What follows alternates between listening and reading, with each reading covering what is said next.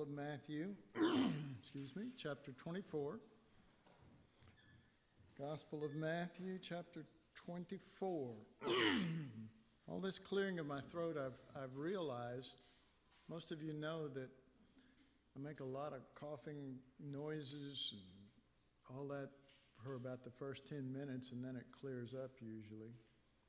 So I, I was thinking about it. I thought, you know what I should do is like for the first 10 minutes, just share worthless information. You know, like the, the life expectancy of a snail is like three months. Did you know that? I know. Then it's, actually, I just made that up. yeah. Well, I think a fly is only a couple of weeks, if I'm not mistaken, but see? All right, Matthew 24, and we're going to look at verse 9. but we're also going to remember that what we're doing is we're going through and we're seeing. Um, I don't know if everyone realizes this. But all these scriptures that we've been going through, we have pretty much only dealt with the scriptures that flat out said the kingdom. Okay. And amazingly, they all keep sort of flowing in the same direction, which is Christ crucified. Here's our list. we have Claudia. John's whooping it up over here. Glad to have you here, Claudia. Sharon, Sharon, I got your email and I loved your answers. Uh, and along that line, we, we talked about homework. And um, some of our students inquired whether we were going to take it up tonight. Yes, I wanted to give you that answer.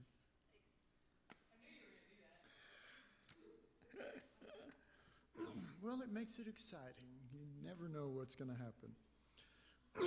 we have uh, Cassie, which I just left, so I don't know how she got on there so quick. Uh, Mallory, Mallory, I hope you're feeling better, and I'm sorry if that singing thing last night messed up your throat more, but that's kind of the way I treat people. I'm pretty bad. And Carolyn Harris, Scott's mom, good to have you with us tonight. And Doug Fisher. Doug and I talked for how long, Doug? We talked for quite a while today. and Mary. Hi, Mary. Good to have you with us. All right. Um, and and the, uh, the emphasis has been not just by finding scriptures that talk about the kingdom, because that's not hard to do. The emphasis has been to discover what, con- to, to discover consistently in those scriptures what is the subject that they're trying to bring out just within the realm of those scriptures. Okay. and what we've discovered already is that it is presenting the kingdom, uh, first of all, either as Christ living how he lives, because he's demonstrating the kingdom, or, or what is the information surrounding his teaching about the kingdom or what will be, and in this case, prophetically fulfilled in relationship to the kingdom. and in all of those different angles, the one thing that is consistent is that the kingdom represents the nature of the king governing us but when you say the nature of the king, we're talking about the person who sits on the throne, aren't we? And when you look at the nature of the person on the throne, what do you see? Lamb of God. Right? Because that's not demonstrating king when you see a lamb sitting there, but what's sitting on the throne is the king. But what you're seeing is the nature of the one when you see lamb. and, you know, he may have crowns and all that kind of stuff. But his nature, his nature involves selflessness, it, it involves literally losing uh, that others may gain. Now, again, we've discussed that. We would be glad to die, give ourselves, you know, either physically die or give ourselves uh, for someone we cared about. Oh, I will lose that they gain. You know what I'm saying? Um, one of our loved ones has a kidney problem and they need, they need a donor. Well, I would gladly give my kidney so that they would have a good one, you know, and I'll lose so that they will gain. well, that's not unusual in the, even in the world. People do that all the time. They don't need Jesus to do that for people they love. But would you do it for somebody who is out to get you? And it, what if they were a tremendous perse- persecutor of you and that they wielded a lot of power and influence and had a big audience and were continually making your life miserable? And then all of a sudden they went down and they were going to die if they didn't get a kidney or something like that. Would you then, if you were a match, would you then be willing to give them a kidney. well, we go through all sorts of stuff, don't we? We don't just see, well, here's a person in need and, you know, I'll do it. We say, you know what, this is the Lord that they're going to die. I'm not going to give them my kidney. They're supposed to die because they're evil and they've been persecuting me. That's what makes them evil, if they persecute me. You see what I'm saying? I mean, that's not true. I'm just saying that's how we, we think. that's called sarcasm. Um, but, but maybe we would weigh it and we would go, you know, if I do give them a kidney, I can be assured of continued years of oppression and of putting stuff out there in such a manner that's just going to make my life miserable, that's going to affect my family, that's going to affect my ministry and everything else.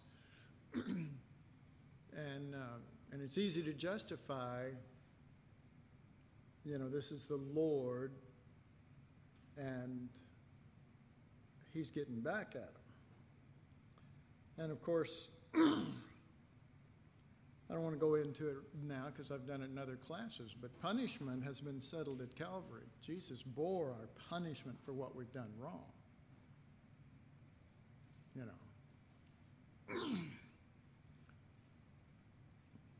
um, and so you get in a situation and you go, this, this could ruin my life to do this.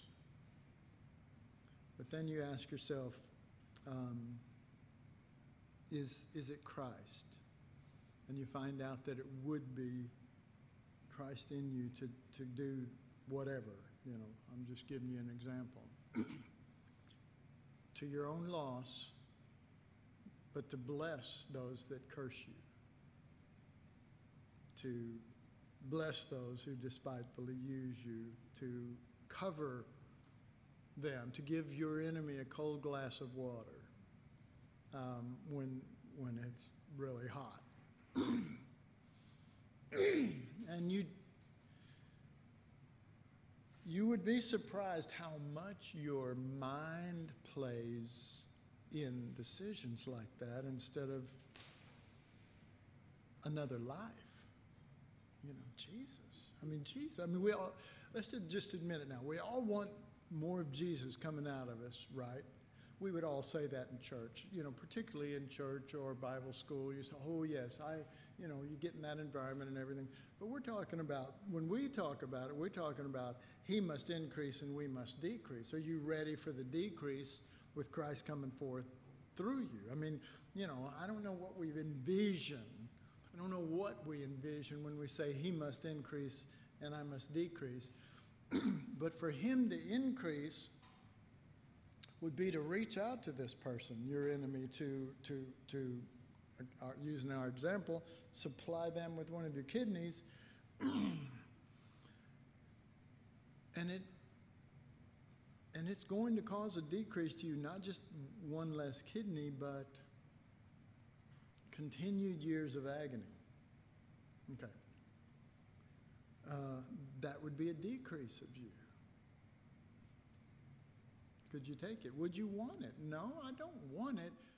But do you want Christ to come out of you? All right. Well, yeah, yes, but what I mean is, I want to you know, when, when I'm sitting in a nice chair during the service and someone comes in, a visitor, and I go, oh, here, take my chair. That's what, that's what I mean. I want Jesus to come out. Really, that's it, huh? You know, I mean, compare, you know, the disciples and how they ended their lives and compare all of the people you admire in the scriptures, and they did a little more than give someone their chair, you know. All right. Our scriptures, Matthew 24, verse 9. We're going to read 9 through 14. then shall they deliver you up to be afflicted, and shall kill you. And you should be hated of all nations for my name's sake. And then shall many be offended, many of us, because of this sort of thing. Then shall many of us be offended and shall betray one another and shall hate one another. And many false prophets shall arise and shall deceive many. And because iniquity shall abound, the love of many shall grow cold. But he that shall endure unto the end, the same shall be saved. and this gospel of the kingdom shall be preached in all the world for a witness unto all nations, and then shall the end come. Okay, so the end, the end is not. Um, uh, all the things that we think are going to bring about what we call the end. the end and the aim of God is for the gospel to be preached and for those who will receive Christ as life, as nature, as king over their reactions, their attitudes, and their motives once it's gone out, people make the decision. Some of them right off, some of them later. Okay, when, when that's gone out, and people have basically made up their mind if they're going to be a sheep or a goat, well, that's it. He's not, you know, it's, he's not, I don't know, I don't even know how to think anymore. of the other things that everyone makes being the end. But this is what it's talking about. and uh, you see these, uh, these things that are happening here to believers. We say to believers. And we say, well, this is, this is the stuff that's going to happen in the end time. But these things happened to Jesus, and it was his end time. And to Paul, and it was his end time, and on and on and on. Can I get amen on that? I mean, this, this, this isn't reserved for, you know. I mean, Jesus is hated in all nations. And it's not reserved for a specific time in that sense, it is reserved for those who are related to the gospel of the kingdom or the self giving one. Okay? And what are they doing? It doesn't say, and, and these shall be, like verse 9 again, uh, um, then shall they deliver you to be afflicted and shall, you know, Okay, so they shall deliver you to, to be afflicted, but God shall deliver you. No, the next word says, and they shall kill you. They shall deliver you to be afflicted, and ye shall stand up with the sword of God and take their heads off, because we will overcome. Mm, no. No, like Paul. Okay, Paul's a good example. And he was in prison in Rome, and he was going to demonstrate to all the Romans that this God is the real God. And so he took a, someone slipped a sword in the cell, and he broke out and he cut off all the heads of all. No, they cut his head off. What kind of victory is that, Brother Paul? You started out so well you started out doing such great and wonderful things, and you end like that? The same way Jesus did? and every true man of God or woman of God? yeah. Because what is that old saying? The blood of the martyrs is the seeds of the, of the church. Um, you could put it another way life comes out of death. You could put it another way this isn't end time talk, this is today talk, and tomorrow, and every day, because it is the kingdom governing these people. And see, Jesus, he doesn't have to say, well, this happens like in a 30 day period. No, I know we read a bunch of that into it, but this is the kingdom. This is the way of the kingdom. Okay? And they shall kill you, and you shall be hated of all nations for my name's sake. And, and let me tell you, that, that scripture runs through my mind a lot because I travel to a lot of nations, and, and the average thinking is um, I want to be respected in all nations, and I want to be admired for my stand for the Lord. But Paul, by and large, even when he was in prison, wasn't admired for his stand. He said, Everyone has forsaken me, and only Luke is with me. You know, it's like, dude, you're losing ground here. I mean, that's the way people think. It is the way people think. I know that. Christians, it's the way they think. And what if Paul actually understood the gospel of the kingdom? And he understood look, this thing's got to go around the world. This thing has got to affect lives, and it takes a life to get a life. And I'm going to lay down my life, and, and, uh, uh, and I'm going to do it by Christ. And I'm going to do it knowing that if there's a death by Christ, there's a resurrection. Because we say life comes out of death. Life doesn't come out of any death, it comes out of his death. It comes out of his self giving. And Paul understood that. He said, he said, you know, always bearing about in the body the dying of the Lord Jesus, that the life also of Jesus might come forth in you. That, that's his, you know, can we call it, that's his weird way of thinking, and yet that's Bible, folks. That's Bible. And you say, well, you're twisting the scripture. How in the world can you twist that? Just the one I just quoted. How do you twist that scripture? It says what it says. I mean, you know. and, and along with that, you say, well, you know, um, there were people in the Bible that, yeah, God, you know, you see that in Hebrews 11. There were those who, who defeated armies and did this and did that, and then about halfway through, and, and then it goes, and yet there were others who, wanting a greater resurrection, didn't resist, but accepted a deeper death. uh, and on and on. I mean, it goes on. um, and even many of the victories, I mean, you know, and what shall we say of Samson and of da da da da? Well, let's see. What will we say of Samson? Uh, he gave his life, he pulled down the thing, he brought down more Philistines than he had killed in his personal strength, warring and fighting and taking jawbone of an ass and killing. He defeated the princes of the Philistines all in one moment pushed down the thing and it all caved in. Does that sound like anything you've ever heard?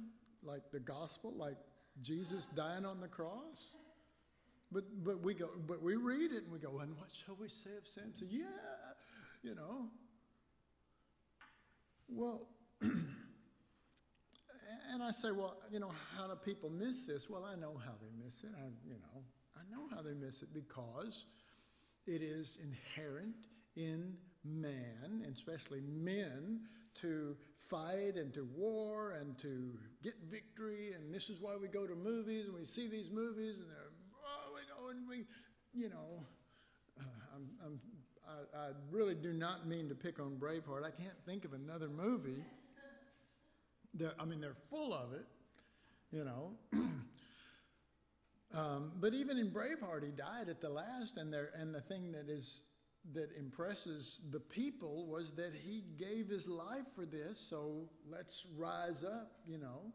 Um, and it's just a shadow of, of rising up in Christ, though, and an increase of Christ, and a, and a one seed falling into the ground and die to bring forth a whole bunch of seeds. So what? They can live their happy lives? No, so they can fall into the ground and die and end up with a harvest of dying seeds. I mean, that's, you know, we're all praying for the harvest. Oh, oh, I want the harvest, you know, I want God to bring in, I want him to have his harvest, you know. And so we think the harvest is going out there and telling them about Jesus. Well, that would be the equivalent of, you know, we think that's it. That's the harvest. Let's go out and witness to them. And they receive the seed. Folks, the ground receiving the seed is not the harvest. That's just the beginning. that have, eh, there's a long process that takes and growth, and then eh, all that was planted has to grow and then die and bring forth, and you know. and so I say that, you know, I understand people don't get this because it's not inherent in man to get this. It is just the opposite of what is inherent in. And our thinking is, is it's, it's the wisdom of this world. God's thinking is hidden wisdom. And if you search that out, and you look it up in Corinthians and you really study it, it's the wisdom of the cross. It is. It, I mean, I don't, that's not twisting anything either. It is the wisdom of the cross, the foolishness of God coming down here, and instead of destroying and winning and beating like that, he died and he took what all them mean people deserved. It's hidden wisdom and it's foolishness. But it is the mind. Let this mind be in you, which was also in Christ Jesus. It is his mind. So he, he so he doesn't say, well, be, just be Christians, but, but be Braveheart Christians. No, he doesn't say that. He says, stop being Braveheart Christians and let this mind be in you. You know? To, but how, how are we going to do that? We're, we're not going to do that naturally. We, we, there's nothing in us that can, we can actually download all of the doctrines and teaching of what I'm saying or what Paul's saying or anybody else along this line, doesn't have to be me. Uh, we can just, you know, soak it in until we have the doctrine of it.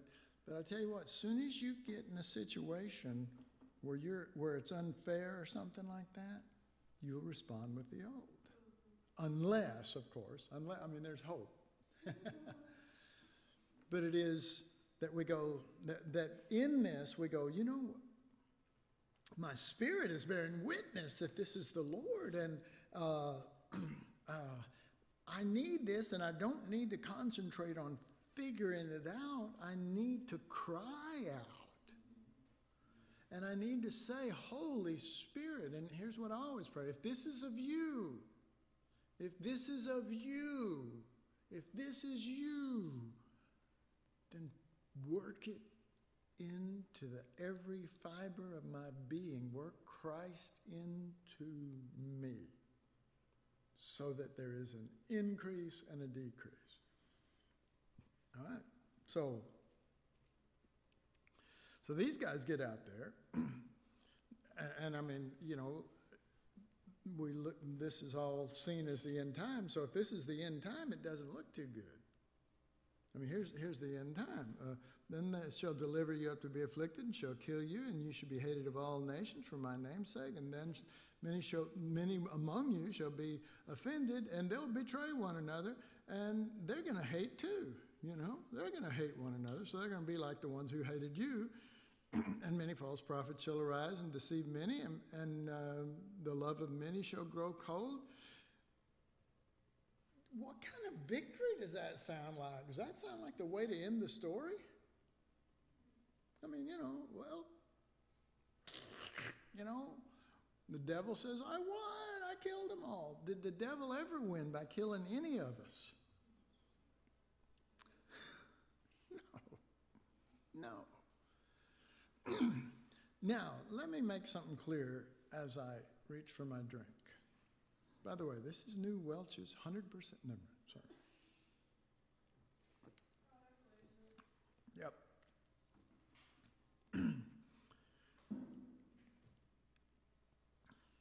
We're not talking about preparing yourself for people to, to kill you. That may happen, but that's really not what we're talking about. We're talking about being able, I mean, if you can't, if you don't take care of the little things, God's not going to give unto you the bigger things. If you're not faithful in that which is least, you're not going to be faithful in that which is more than that. So he's saying in everyday circumstances, in little things, what we've many times around here called little altars, Go to that altar.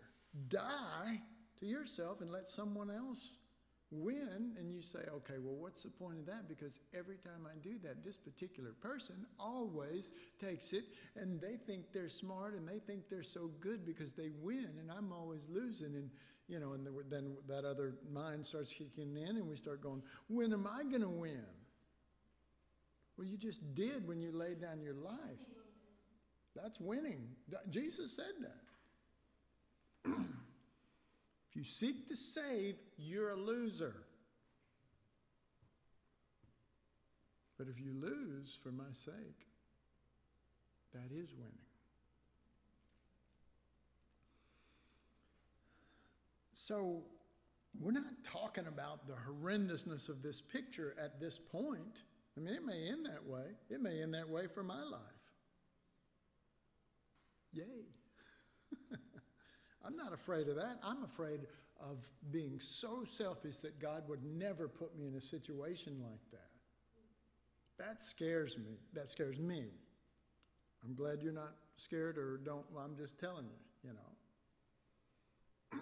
it's that kind of talk that'll cause all nations to hate you. all right, so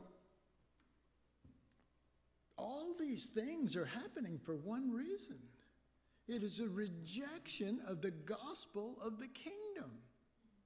This message shall be preached, and they're going to be rejected for it. That's why it's happening. and these lambs are the crucified, and the people doing it, rejecting that mindset, that spirit, that mind of Christ, are the crucifiers.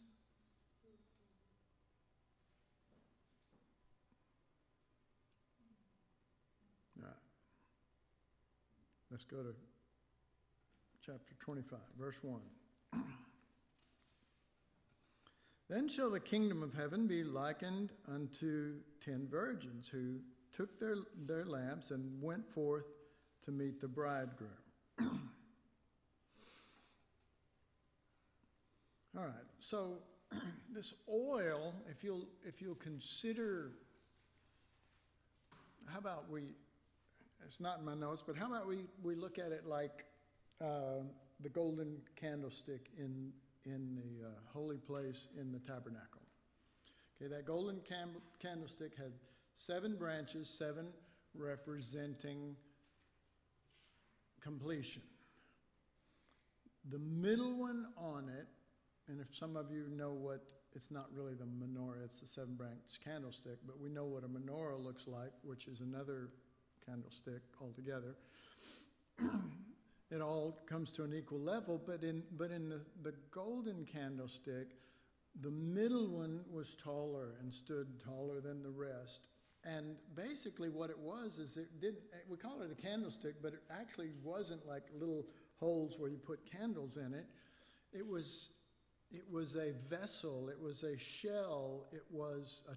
It, it was made like all tubes, and you put oil in there, and then you set a wick on it, and the wick went into the oil, and that's what burned. Okay? so the inside of that, and we've always said, well, the seven branch candlestick represents the church because you see that over in the book of Revelation, which, you know, I think is a huge picture of the seven branch candlestick, but Jesus in the midst of the seven churches. Okay? Well, what's in the midst of the seven churches? What's in the midst of the seven branch candlestick? This oil. And I believe that represents the true essence of what the Lord is, of what God is, whether Spirit or Jesus or Father, the essence of what He is. And that's what's lit in us. You know, it says, Jesus, you're the light of the world. But later on, He says to us, You're the light of the world. And we go, No, no, no, we're the light bearers, you know what I mean? Because we're not the light of the world, trust me.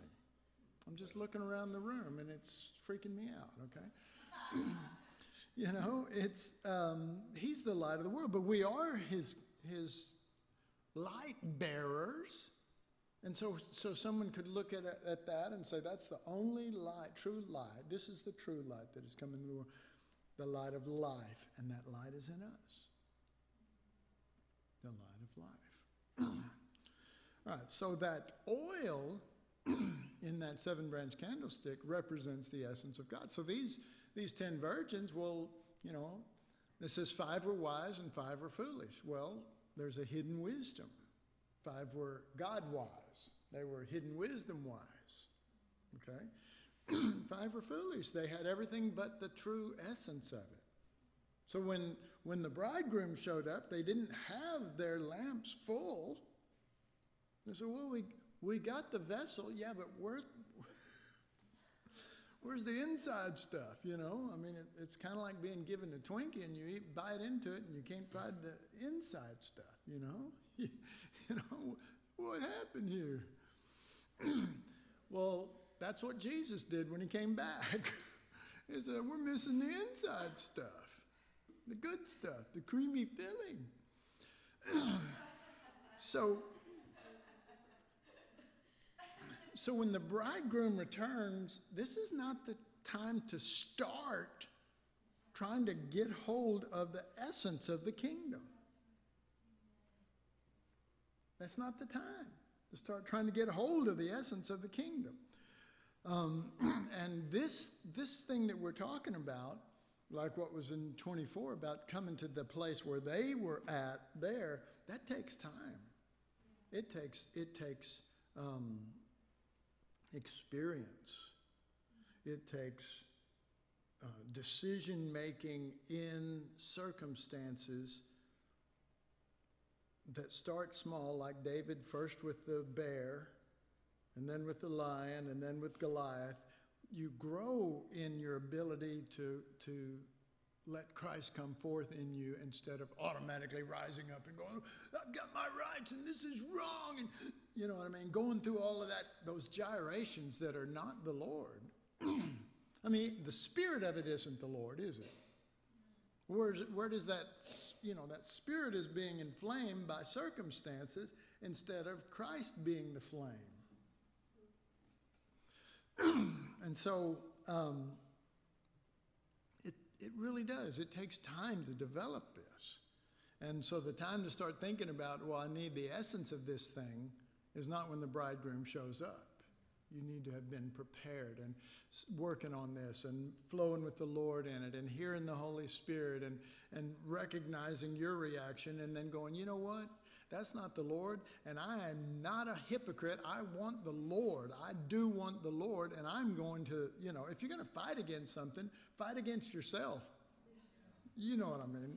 React against yourself. Just don't, you know, just, well, they're wrong. You know, I can't remember how the saying goes, but it's an old saying, and, and, and it is, uh, if when you get up in the morning, uh, the first person you meet, now this, this word I'm going to use is not the actual word that goes with this. If you get up in the morning and the first person you meet is a jerk, then they're probably the problem. It says if you if you go throughout your day and everyone you meet is a jerk, then you're probably the problem.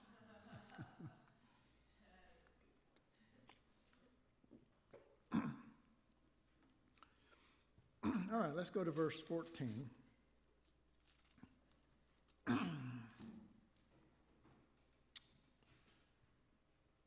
By the way, I didn't read uh, all of the, the uh, 10 virgin one because we have so little time.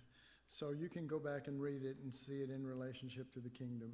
Verse 14 For the kingdom of heaven, and notice the words, well, let's just go with it. For the kingdom of heaven is like a man traveling into a far country who called his own servants and delivered unto them his goods.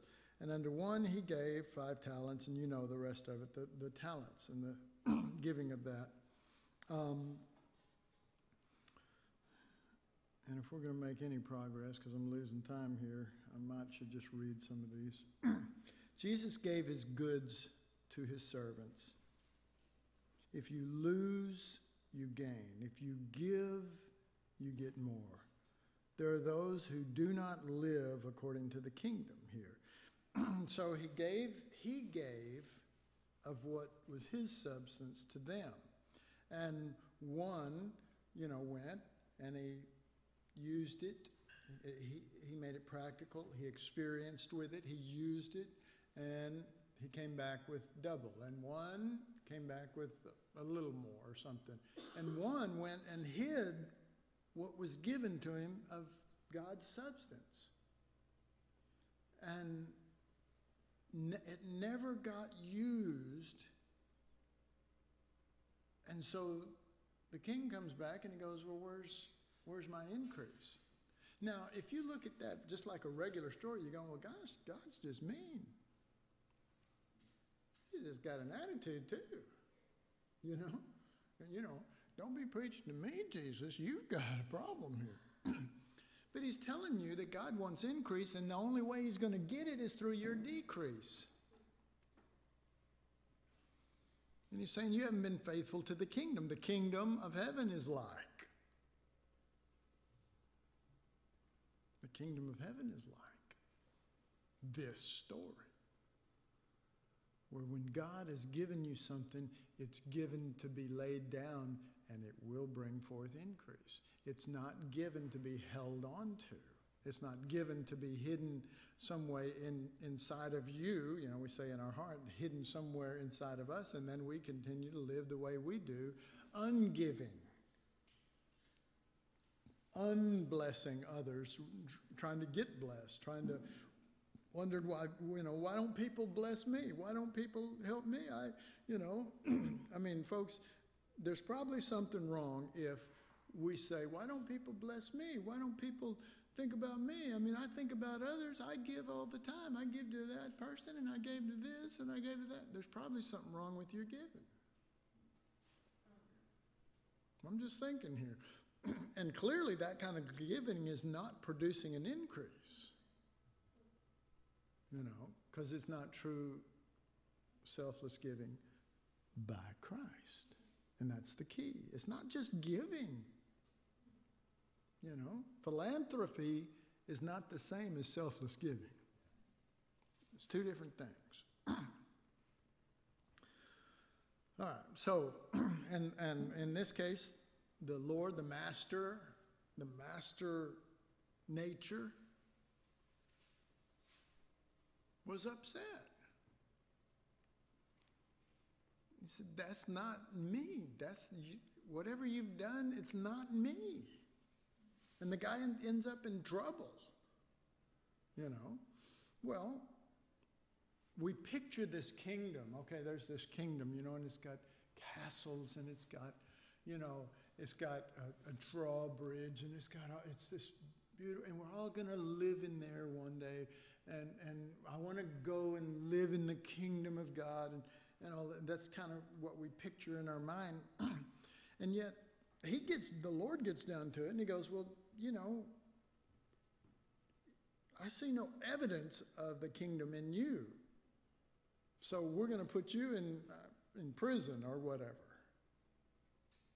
Because that way only takes and only thinks of itself. And in that case, i will just be honest with you, folks. He went and hid it. Maybe he was afraid he would lose it. Okay, well, fear. Okay, fear. Uh, you know, fe- uh, I'm sorry. I'm sure I can get in a lot of trouble. No wonder, you know, the nations of this world shall hate you. But, you know, fear is just a big old selfish Jabba the Hutt. It's just a big old selfish blob of flesh that says, you know, well, I can't do, I can't give that, I can't do that. Well, if I do that, you know, I, you know, I'll, let me get, let me take it out of your field so you won't feel convicted. Well, I can't go to the mission field because da da da da. Well, I can't, you know what I mean? I mean, we, we put it on some, instead of just daily little things. Well, I can't, I, I can't do that. But it's always considering itself and, and is considering the damage to self. You know? I mean, can you see Jesus? Well, I can't go to the cross.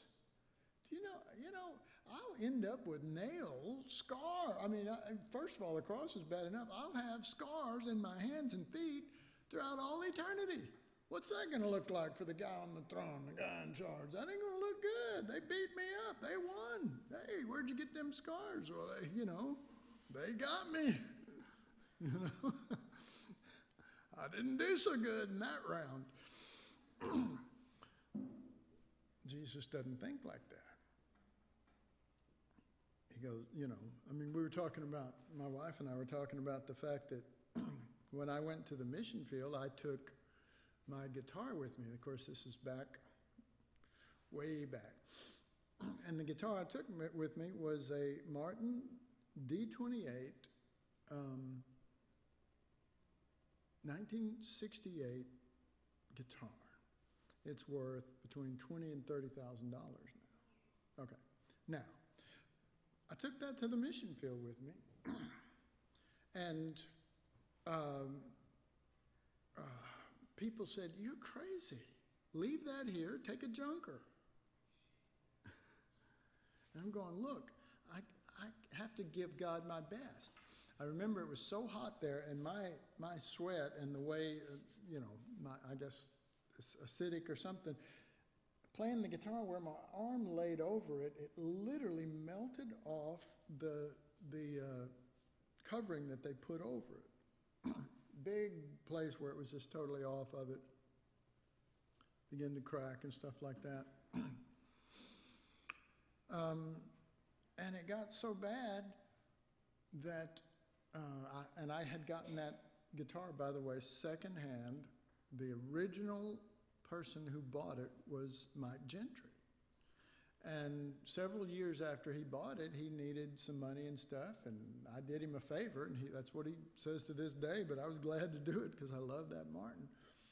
And gave him some money that got him out of a jam, and I had that guitar. So Martin will honor your guitar if you're the original owner. You have a lifetime warranty on it. If you number one, if you take care of it, and if you're the original owner. Well, I just thought, well, on a whim, I'm going to do this. So I wrote, because we're in Jamaica, and I wrote in Martin. I told him where I was at in the middle of an island that was, you know, way far from most of the big cities and stuff. And we had an orphanage and this and that. And I brought my guitar and, you know, this is what happened to it. And I'm not the original owner and all this kind of stuff. And they wrote me back and they said, send it in. We'll take care of you. And they did. And they fixed all of that. When I got back, it had a scar where they had to fix the, the front of it. They literally hand carved out a sliver that was about this long, hand carved it to fit in there, and then they totally refinished the front of it again, okay? But it had that scar. underneath, but it was fine now and it wasn't cracked. And I thought, you know, this is just like Jesus, you know? He's got those scars and it's fine. It's actually a beautiful thing because it was used to the glory of God. Um, I mean, we've got pictures of leading the orphan. We had an orphanage and, you know, leading them in songs and stuff. All right, well, that's a, you know, and I'm sorry I used an example of myself, but that was, that was a testimony to me of uh, had I been fearful, and you know, as some of you know, that guitar ended up getting burned up later on down the road, way down the road, but ended up getting so so someone would go, well, you you lost it anyway. Yeah, but I didn't lose what I had of the Lord in that whole situation. I didn't lose the Lord.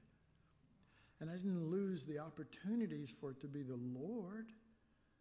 And I didn't say, well, when am I going to get an opportunity? I have opportunities all the time. Anyway, I'm not trying to do anything other than I just I just believe that this essence that is Jesus can rule over our flesh and our souls and our fears and our all of that kind of stuff. all right, we're still in wow. Matthew 25 and let's look at verse uh, 32 through 34. Well, this one's self-evident. 32 through 34. Uh, let's go back 31. When the Son of Man shall come in his glory, and all the holy angels with him, then shall he sit upon the throne of his glory, the throne of his glory.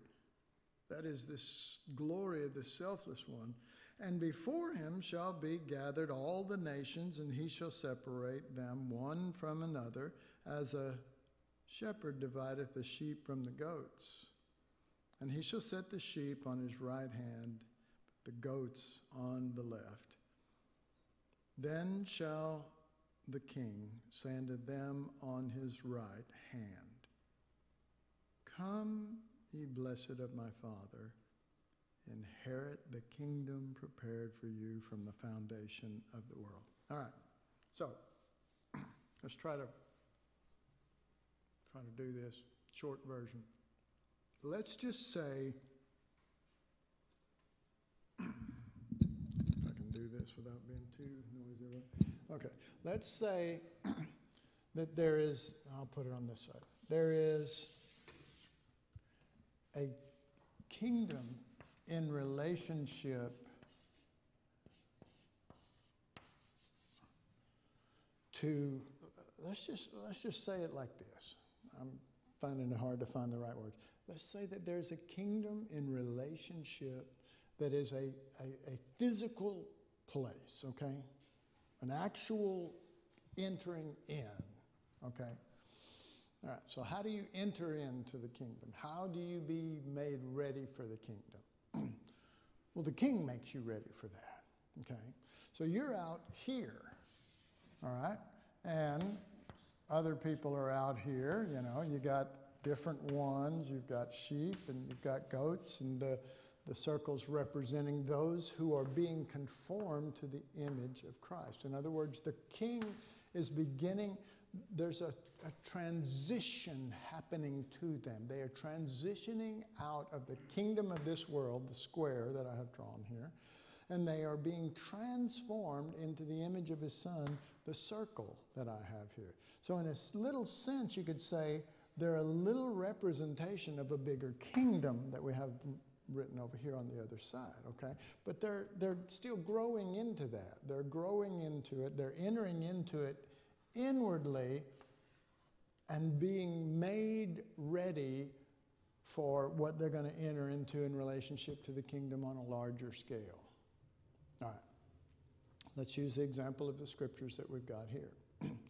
you have sheep and goats, you have circles and squares before the time to enter the kingdom as far as, again, I'm, I'm just using this as an example, kingdom as a place. Okay? You with me? All right.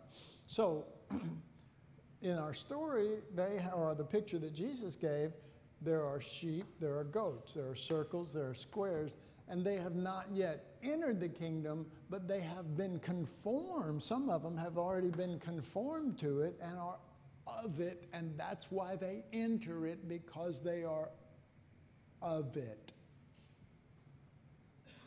Does that make sense? Because what does he do? He divides, he puts a dividing line and he says, okay, you know, all the sheep get on, uh, I'm doing the opposite here, but, but on the board that may be right for you. Let's see. Yes, for you guys, it's right. All right, so I'm putting the goats on this side and I'm putting the sheep here. So there is already a division of the kingdoms before you enter the, the place of the kingdom. In other words, that which is, is first spiritual, and then you begin to enter into the, I don't know, I don't know what words to use.